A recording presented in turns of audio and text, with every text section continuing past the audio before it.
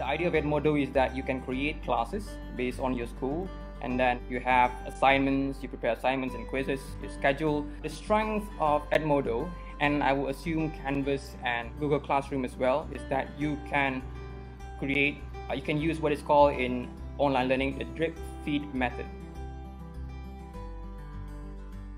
But I don't want to show these classes uh, on the screen because these classes contain information about my students who are who used to be in this uh, courses and due to data protection and whatnot I'm going to create a new class for this particular session of ours. Now most teachers usually have either from two to four classes.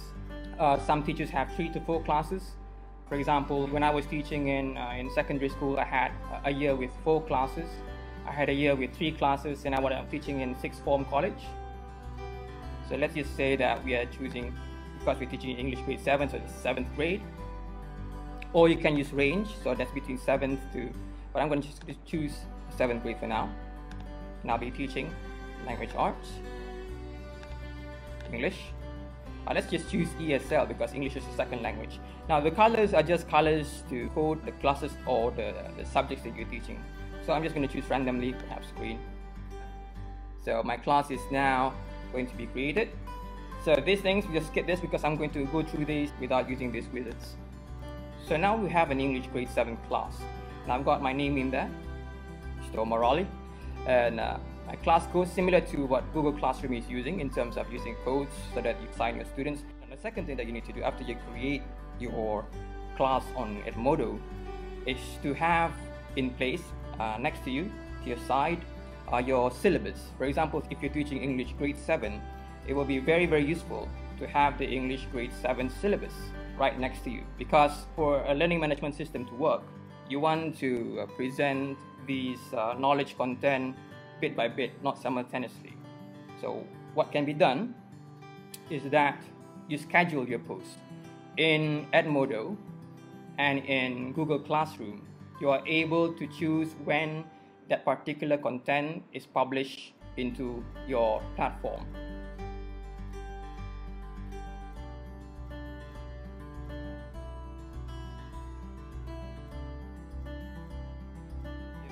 This syllabus next to you to your side, uh, all you need to do is to structure them to transfer all this organization into your Edmodo system or your Google Classroom system and then provide each of these particular elements with scheduled postings. So meaning they are posted according to the chronology that you set them to be. Now also in your post you'll be able to attach files and images, the same thing, is, these are the things that I'll go into later. I'll just post that up. Now, as you can see, uh, another big strength of Edmodo, uh, this is something that is uh, a bit of a struggle with, uh, with Canvas, but Canvas can do this as well, is that you can manage your content using your Office 365 system.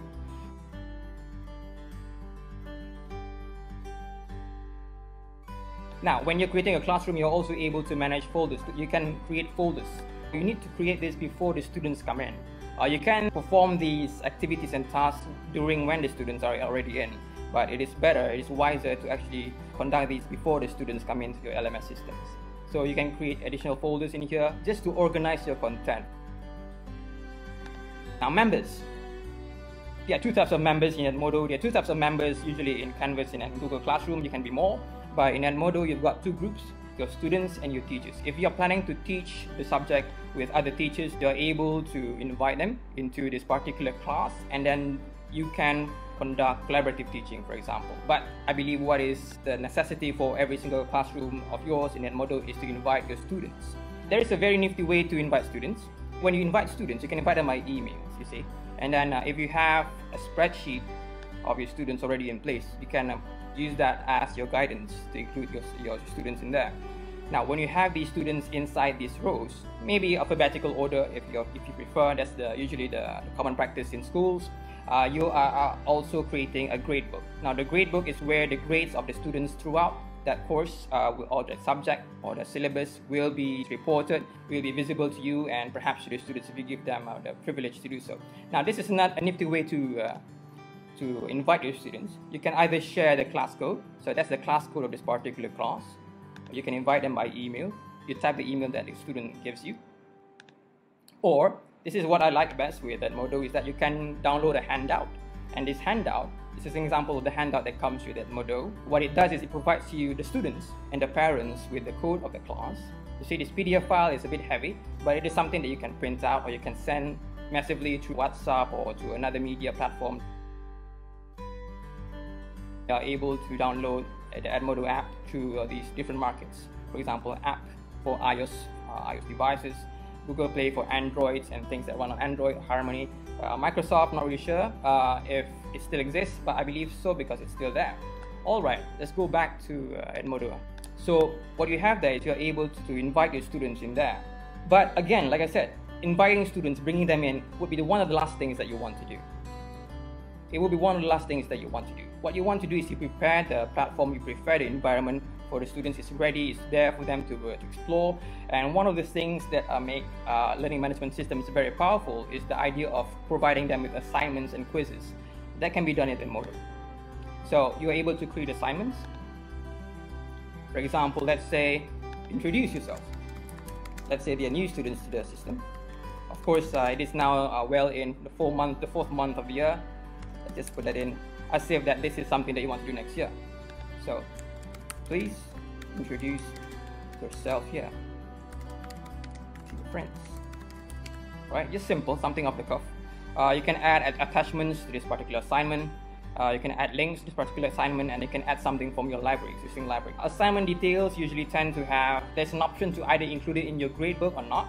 But one thing that is also quite nifty, uh, it's quite creative as well, and it's also quite useful, is, is that you're able to create quizzes. Uh, before going to quizzes, you can copy assignments from your other classes, or from classes, uh, Edmodo classes that you've online.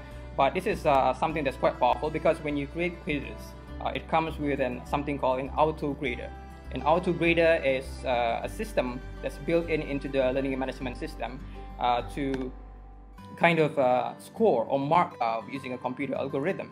But nowadays, you've got new technologies that allows you to uh, allow you to grade, auto grade certain kinds of assignments and exercises.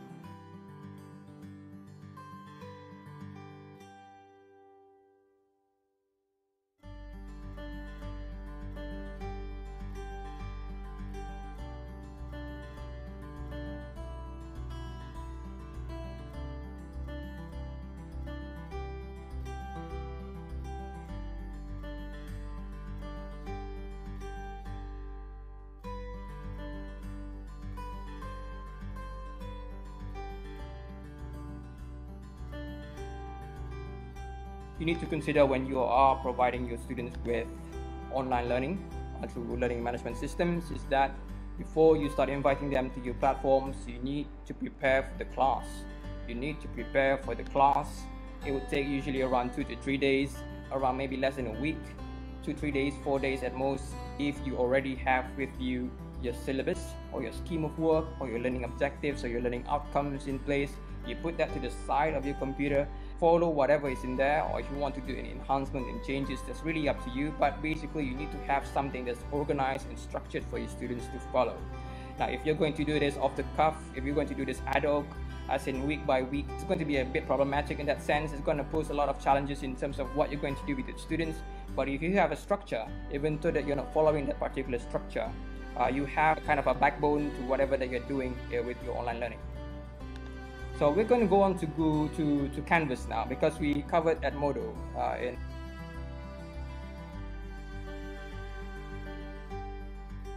So in Canvas, the idea is to create your own course. Well, I've got a lot of courses in there, so I'm going to start with a new course. Again, the idea is, like I said, if you are a teacher with teaching three classes, four classes of the same level, it's best to actually create only one course first so that you are able, because of the, the same level that they're in, you're able to duplicate that course in the future. All right. Canvas, LMS, let's say Canvas LMS webinar. Yeah. So now I'm creating a course. When you start creating your Canvas uh, course or Canvas subject, uh, like I said, what you wanted to do is you need to schedule your post. It's very, it's a bit different from Google Classroom. It's a bit different from Edmodo because Edmodo and Google Classroom, those two platforms allow you for drip feed method in terms of scheduling the time uh, when these content are introduced to your students in the class, in the lessons. Uh, but what Canvas does is that it allows you to assign the modules chronologically. For example, we go on to modules. Let's say you have you have a class that you intend to run an online lesson with.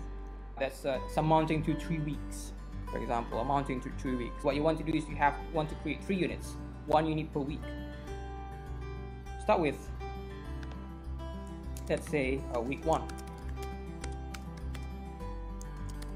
Learning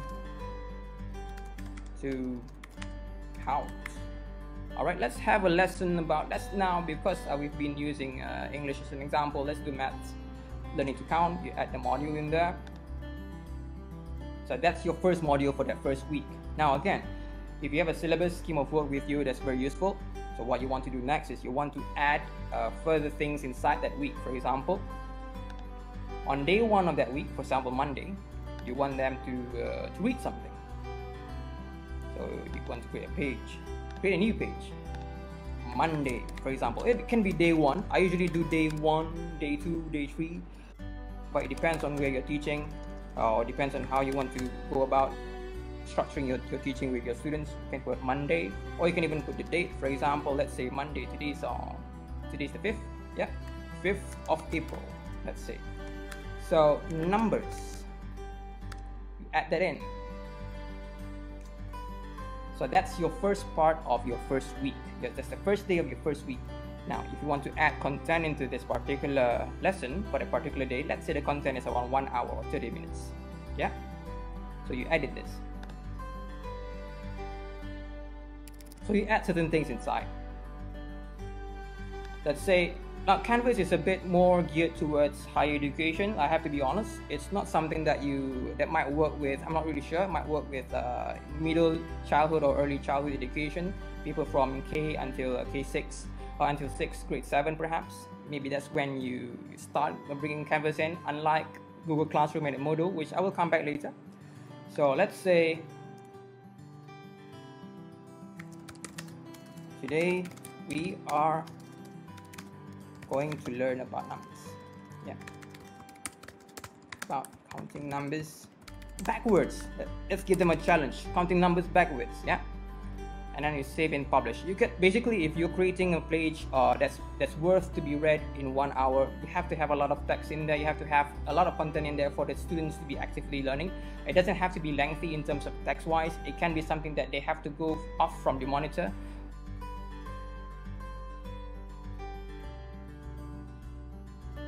numbers and then 8 April another page. Yeah the new one 8 April odd numbers. So assuming that your students are learning this at home you're providing them with content in there content that can be from somewhere from the internet from YouTube all right? So you're moving this bit by bit. Now structure uh, you just start with the structure of what you're trying to teach you just start with the syllabus or the scheme of work that you have and then provide them with things to do we, we, we started with page. Now we move on to something that's more, let's say, a bit more high stakes. For example, a discussion. Yeah, discussion on the 10th of April.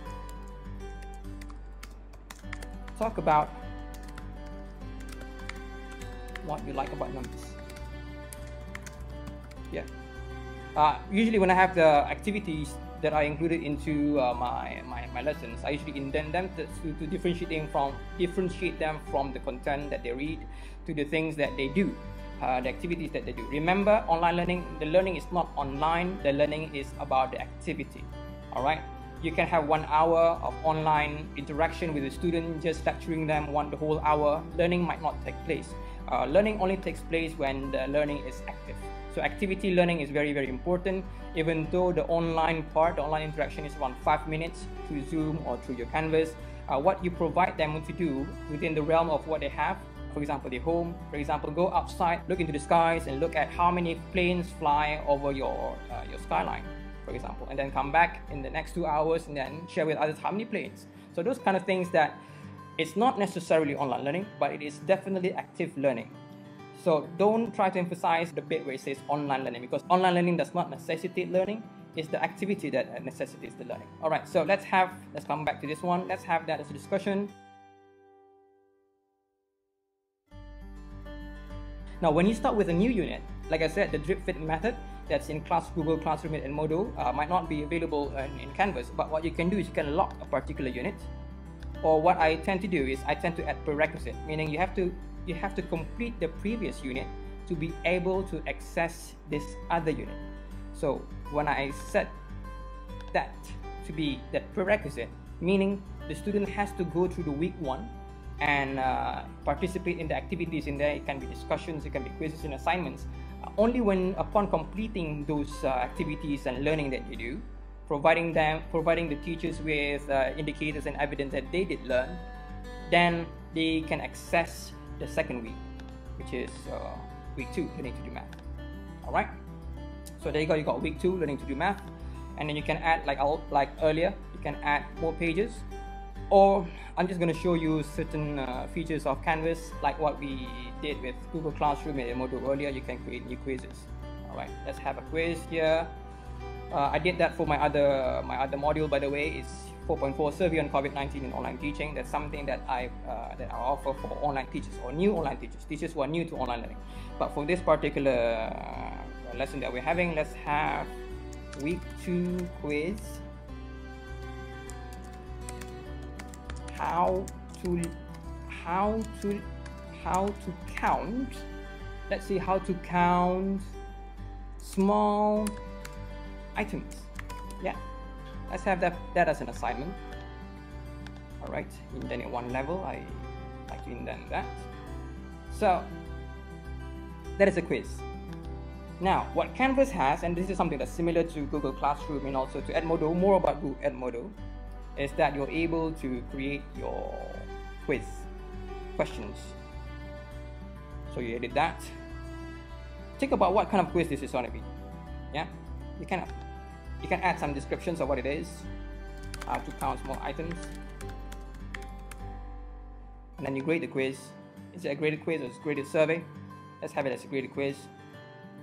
It's part of the assignment group. Shuffle answers meaning that under the that's not shuffle answers because we're dealing with uh, with uh, with uh, young young children here. Time limit. Let's set the time limit to perhaps maybe 30 minutes. So remember, when you're working with uh, with younger students, the attention span. Uh, this is uh, this is proven by, by, by reviews in the literature and by research studies. The attention span of younger learners uh, tend to be shorter than uh, adults. So you have to put that into consideration. Uh, maybe that it's going to be 10 minutes, it's going to be 15 minutes. Some some young learners are only attentive for five minutes. So those are the things that you need to consider. And also, uh, in terms of the the forgetting curve, which is Ebbinghaus theory uh, when you teach something to students, uh, students tend to uh, be uh, more forgetful of what they learn uh, uh, because they are they are so entrenched with other stuff that they're doing in the moment. They are quite preoccupied with other things while doing this. So those are the things that you need to figure out in terms of online learning. It's quite the dynamics of teaching is very different from online learning, from traditional learning, where you are there in the class physically to make sure that they are always attentive when you're dealing with students who you don't see beyond the, the, the screen, beyond your computer screen, then it's, it's a bit more challenging. All right.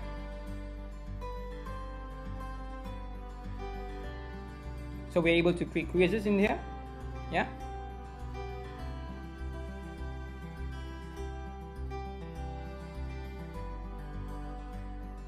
Now, when you create a quiz, you can assign questions. The same thing with Edmodo let's say let's have a new question for example question uh, again like with edmodo now you have more more options compared to edmodo. Uh, in here you're able to choose other kind of a high stakes or higher order thinking uh, questions. Essay questions for example multiple drop downs are in edmodo. Let's just use multiple drop downs. The question is what can be counted for example? Yeah? what can be counted? All right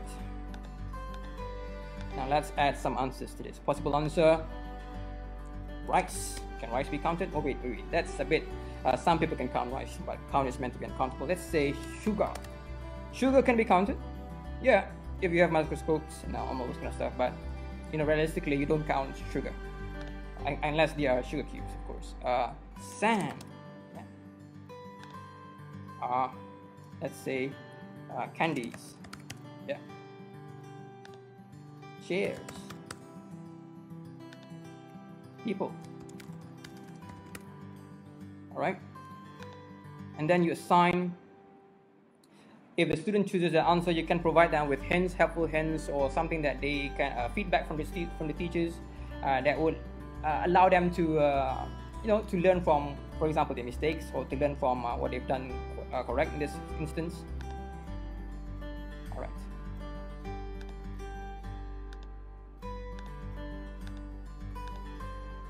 Okay.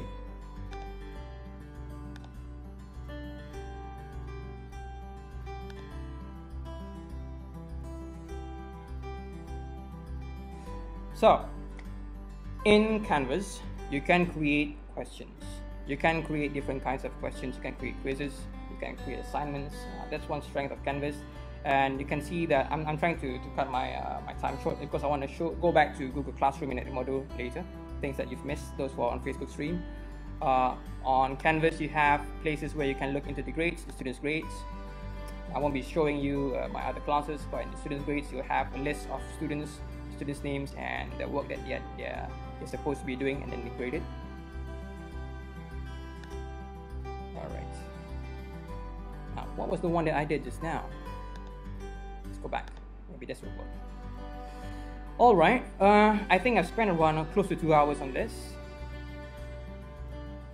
Now, uh, one thing that is quite useful, of course, with Canvas is that if you are, if you are pressed into creating uh, a lesson or a course or a subject course uh, for a group of students but you are running out of time you've run out of time you've got your class to be done in two days time and you need to be done it to be two weeks length or three weeks length for the students now if you if you stumble upon that kind of situation where you need to create something from scratch uh, and then you don't have the materials to do so what canvas does is that you can go to commons.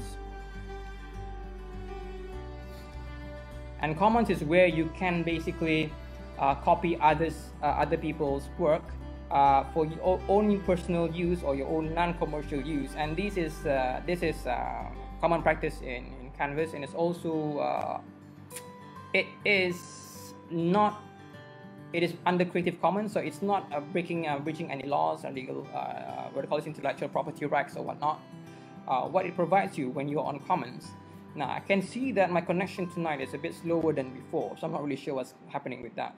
But what you can do with Commons is this. Yeah, while waiting for it to load, of course. Uh, on Canvas, if you don't have any material to create as a course, there are already courses available on Canvas Commons for you to copy and for you to use at your own class.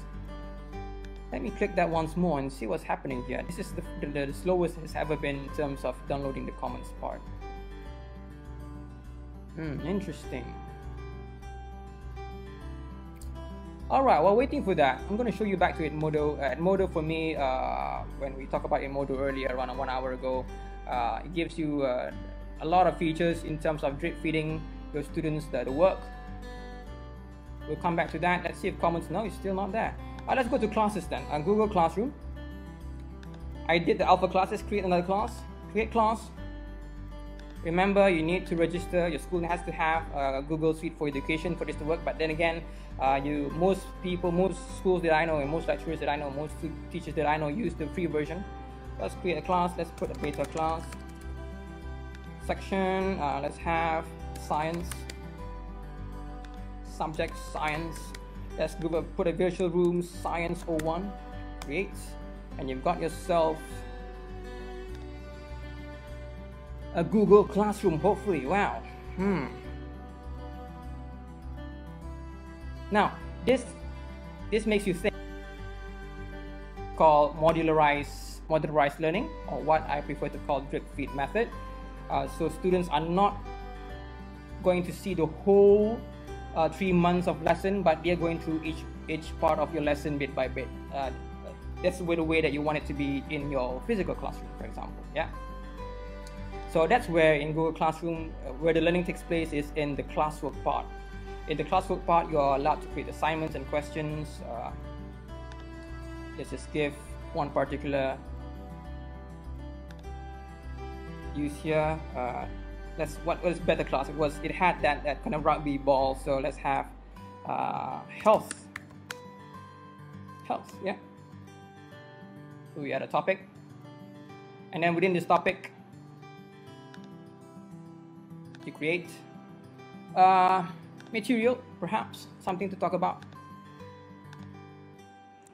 How to keep yourself healthy, and then uh, you provide them with content that you want them to read. I'm not really sure why this pop-up keeps on popping up. I've been using Google Classroom for many years now. Uh, let's say that's that. Uh, that's for only my beta class, not my alpha class. Do I want it to be for all students? Yeah. And yeah, health should be under health topic. So it will appear under it will appear under the health topic. So there you go. And you can add another one. What do you want to put under health? Uh, let's do another. Let's have an assignment.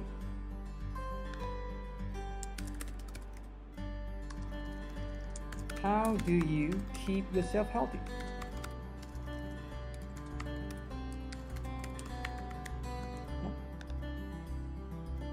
Give them, give this a point, uh, a point system that let's give it 100, or you can have it 50.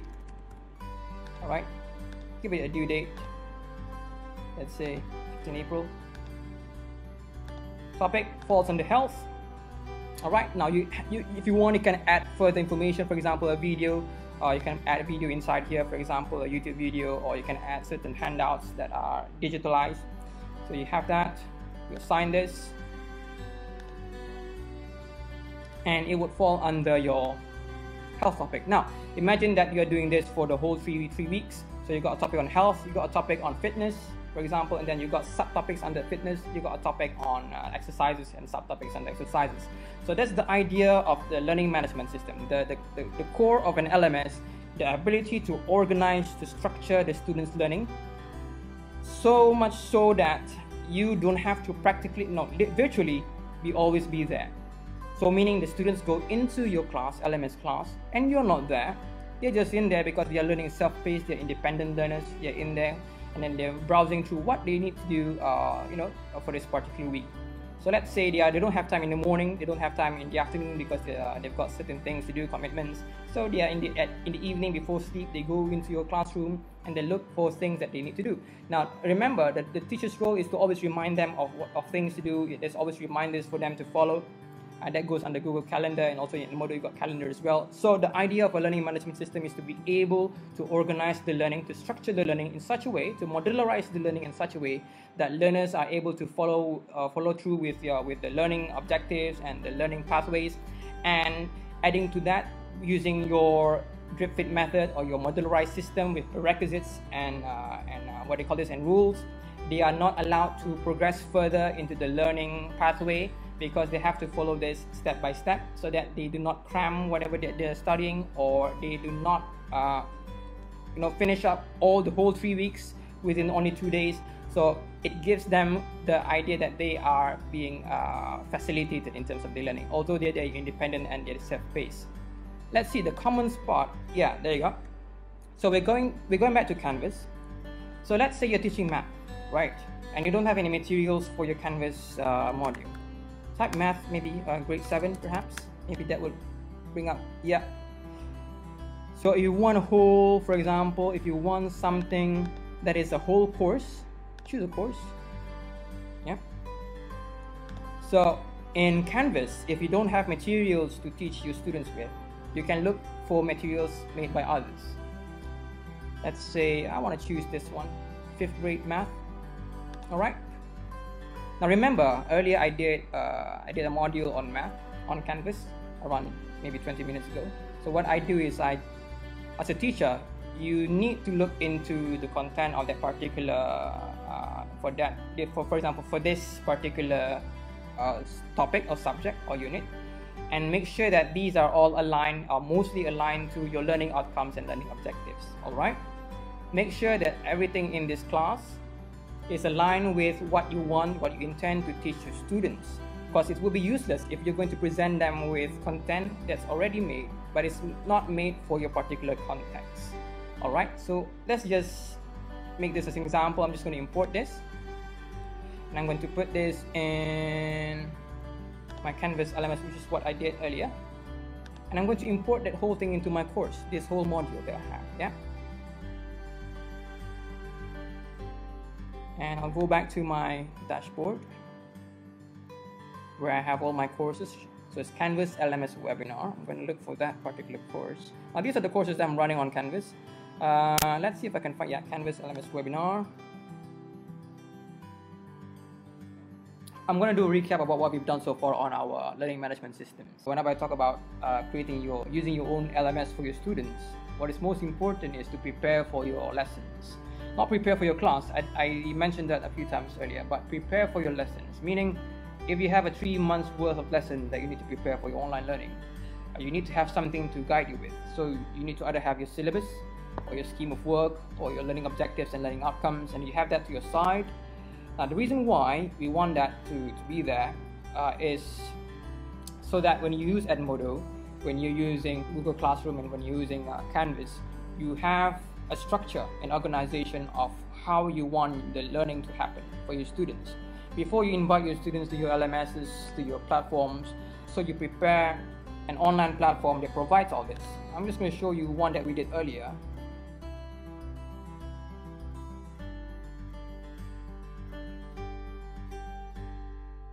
But what we did earlier with Canvas was that we structured the lesson, which was math, by the way. We structured the lesson as if, as if it's meant to be done step by step. So what we have here is we have a screen where we have our modules uh, of our lessons for math. So on Canvas, that can be done using weeks and modules uh, and units.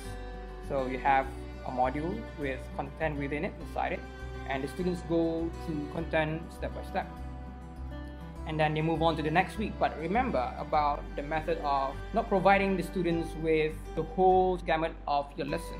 For learning to be independent and self-paced, but at the same time regulated and facilitated in such a way that it follows the syllabus and scheme of work, you need to have proper guidelines on what comes first and what comes next.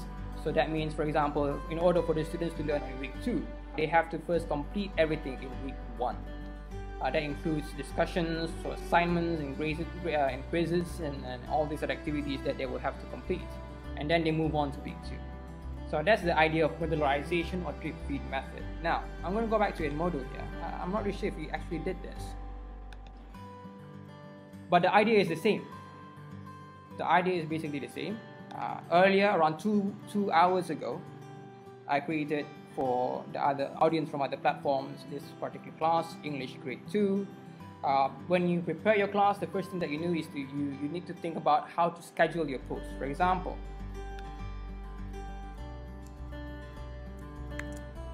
this is a post meant to be for later. You see this this icon here? Well, you schedule where your post starts to, uh, to appear. Let's see April uh, on Edmodo, I'm just going to bring the, the salient points or the sound bites of each particular uh, platform. Let's start with Edmodo. Edmodo, you can use games.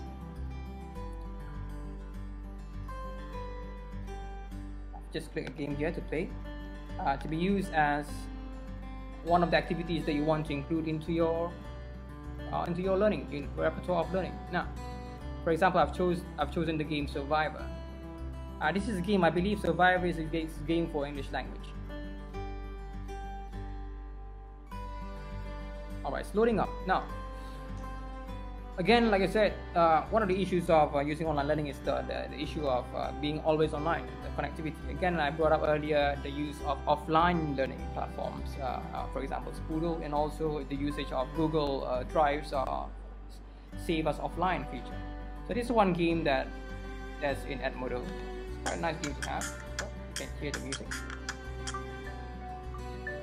So this is for these are for kids, perhaps around grade six, grade seven, maybe earlier than that. So you've got your whole class playing this game, and this is nice technology to. Uh, it's a nice activity to have online, perhaps. So there are a lot of games on Edmodo. I think I'm going to, I'm going to uh, to pick uh, cherry pick some of the features that uh, these uh, Google Classroom and Edmodo and Canvas has. Uh, in terms of Edmodo, there are a lot of features, but one that I haven't highlighted in my other videos earlier is that uh, that, that's me. Yeah, I'm gonna move there. Is that me? Am I in there? Am I in that group? Yeah. Alright. Oh, where am I? Alright. Let's just restart. Alright, I'm just gonna leave it there.